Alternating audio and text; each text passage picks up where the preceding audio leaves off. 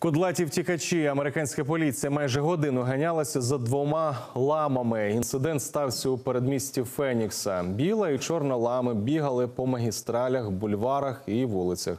Їх намагалися спіймати спочатку перехожі, а потім поліцейські. Але тварини спритно тікали іноді в останній момент. Цим приводили у захват спостерігачів. Нарешті тварин зловили, накинувши на них ласо. Звідки лами втекли і як опинилися на вулицях, невідомо.